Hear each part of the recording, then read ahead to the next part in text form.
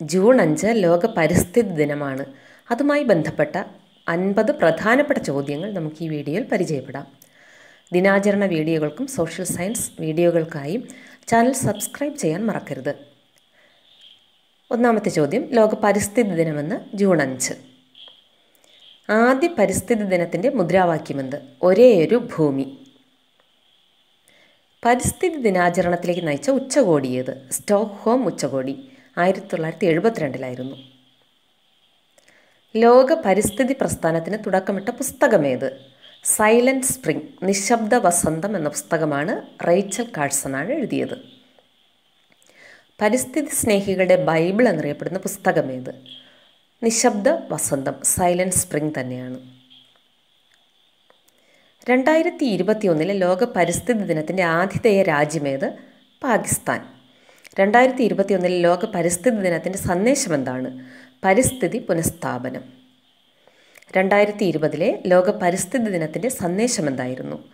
ജൈവ വൈവിധ്യം ആഘോഷിക്കുക. ഐക്യരാഷ്ട്രസഭയുടെ പരിസ്ഥിതി സംഘടന ഏത്?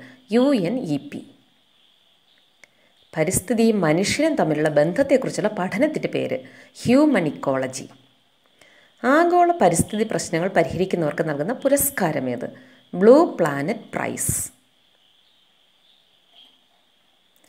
പരിസ്ഥിതി കോടതികൾ സ്ഥാപിക്കാൻ മുൻകൈയെടുത്ത ഇന്ത്യൻ നിയമജ്ഞനാര്? Justice P N Bhagwati. വംശനാശ ഭീഷണി നേരിടുന്ന ജീവികളുടെ വിവരങ്ങളടങ്ങിയ പുസ്തകമേത് റെഡ് ഡേറ്റ ബുക്ക് ലോകത്താദ്യമായി ഭരണഘടനയിൽ പരിസ്ഥിതി സംരക്ഷണം എന്ന ആശയം കൊണ്ടുവന്ന രാജ്യമേത് റഷ്യ.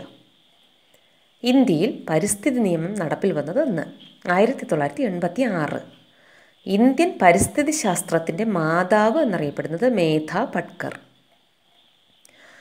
എന്നാൽ ഇന്ത്യൻ പരിസ്ഥിതി ശാസ്ത്രത്തിന്റെ പിതാവ് എന്നറിയപ്പെടുന്നത് പ്രൊഫസർ ആർ മിശ്ര. കേരള പരിസ്ഥിതി ശാസ്ത്രത്തിന്റെ പിതാവ് ജോൺ സി ജേക്കബ്. ഇന്ത്യൻ പരിസ്ഥിതി പ്രസ്ഥാനത്തിന്റെ മാതാവെന്നറിയപ്പെടുന്ന പ്രസ്ഥാനമേത്? ചിപ്കോ പ്രസ്ഥാനം. ചിപ്കോ പ്രസ്ഥാനത്തിന്റെ സ്ഥാപകനാര്?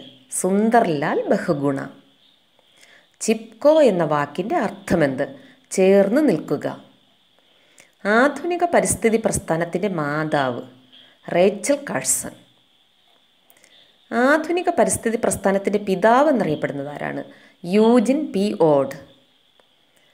പരിസ്ഥിതി കമാൻഡോസ് എന്നറിയപ്പെടുന്ന സംഘടന. ഗ്രീൻ പീസ് ഭൂമിയുടെ ഹരിതകോശം എന്നറിയപ്പെടുന്നതെന്ത്? വനങ്ങൾ. ഭൂമിയുടെ വൃക്ക എന്നറിയപ്പെടുന്നതെന്ത്? തണ്ണീർത്തടങ്ങൾ. ഭൂമിയുടെ ശ്വാസകോശം എന്നറിയപ്പെടുന്നത് എന്ത് മഴക്കാടുകൾ. സൈലന്റ് വാലി മഴക്കാടുകൾ സംരക്ഷണത്തിന് വേണ്ടിയുള്ള സമരത്തിന് പിന്തുണയായി നൃത്തം ചെയ്തതാരാണ്? മൃണാളിനി സാരാഭായ്. സൈലന്റ് വാലി ദേശീയോദ്യാനം ഉദ്ഘാടനം ചെയ്ത പ്രധാനമന്ത്രിയാര് രാജീവ് ഗാന്ധി. വേപ്പെണ്ണയുടെ വിദേശ പേറ്റന്റിനെതിരെ പൊരുതി ജയിച്ച പരിസ്ഥിതി പ്രവർത്തകയാര് വന്ദന ശിവ. മരം മുറിക്കലിനെതിരെയുള്ള സമരഭാഗമായി കാലിഫോർണിയൻ റെഡ് വുഡ് മരത്തിൽ രണ്ട് വർഷത്തിലേറെ ജീവിച്ച അമേരിക്കൻ യുവതി ജൂലിയ ബട്ടർഫ്ലൈ ഹിൽ. കേരളത്തിലെ പക്ഷി മനുഷ്യൻ എന്നറിയപ്പെടുന്നത് ആര്? ഇന്ദുചൂടൻ അദ്ദേഹത്തിന്റെ കൃതിയാണ് കേരളത്തിലെ പക്ഷികൾ. കേരളത്തിലെ ആദ്യ പക്ഷി സംരക്ഷണ കേന്ദ്രമേത് തട്ടേക്കാട് എറണാകുളത്താണ്. ഡൗൺ ടു എർത്ത് എന്ന പരിസ്ഥിതി മാസികയുടെ പത്രാധിപയായ മലയാളി വനിതയാര് സുനിത നാരായണൻ. ആയിരത്തി തൊള്ളായിരത്തി അൻപതിൽ വനമഹോത്സവത്തിന് തുടക്കം കുറിച്ചത് ആരാണ്? കെ എം മുൻഷി. കേരളത്തിലെ പരിസ്ഥിതി മാസികയേത് മൈന. കേരളത്തിലെ ജൈവ ജില്ല ഏത്? കാസർഗോഡ്. കേരള ജൈവ കൃഷിയുടെ ബ്രാൻഡ് അംബാസഡർ ആരാണ്? മഞ്ജു വാര്യർ. കേരളത്തിൽ വനഭൂമി കൂടുതലുള്ള ജില്ല ഏത്? ഇടുക്കി. കേരളത്തിൽ ഏറ്റവും കൂടുതൽ കണ്ടൽ വനങ്ങളുള്ള ജില്ല ഏത്? കണ്ണൂർ. ജൈവ വൈവിധ്യ രജിസ്റ്റർ പുറത്തിറക്കിയ കേരളത്തിലെ ആദ്യ ജില്ല വയനാട്. കേരളത്തിലെ പുതിയ വനം വകുപ്പ് മന്ത്രി എ കെ ശശീന്ദ്രൻ. ഇന്ത്യയിൽ ഏറ്റവും കൂടുതൽ വംശനാശ ഭീഷണി നേരിടുന്ന വൃക്ഷമേത്? ചന്ദനം. ഇന്ത്യയിൽ വനഭൂമി കുറഞ്ഞ സംസ്ഥാനമേത്? ഹരിയാന. ഇന്ത്യയിലെ ആദ്യ ഇക്കോ ടൗൺ ഏത്? പാനിപ്പത്ത്. ഏഷ്യയിലെ ആദ്യ ചിത്രശല സഫാരി പാർക്ക് തെന്മല. ഇന്ത്യയിൽ ഏറ്റവും കൂടുതൽ വനപ്രദേശമുള്ള സംസ്ഥാനമേത് മധ്യപ്രദേശ്. ഇന്ത്യയിലെ ഏറ്റവും കൂടുതൽ കണ്ടൽ കാടുകളുള്ള സംസ്ഥാനമേത് പശ്ചിമ ബംഗാൾ ഓസോൺ പാളിക്ക് ഭീഷണിയായ ക്ലോറോ ഫ്ലൂറോ കാർബൺ പുറന്തള്ളുന്ന പദാർത്ഥങ്ങൾക്ക് ആദ്യമായി കാർബൺ ടാക്സ് ഏർപ്പെടുത്തിയ രാജ്യമേത്? ഫിൻലൻഡ്. ലോകത്തിലെ ഏറ്റവും വലിയ മഴക്കാടുകളേത്? ആമസോൺ മഴക്കാടുകൾ. ഈ അൻപത് ചോദ്യോത്തരങ്ങളും പ്രധാനപ്പെട്ടതാണ്. ഇത് പഠിക്കുക.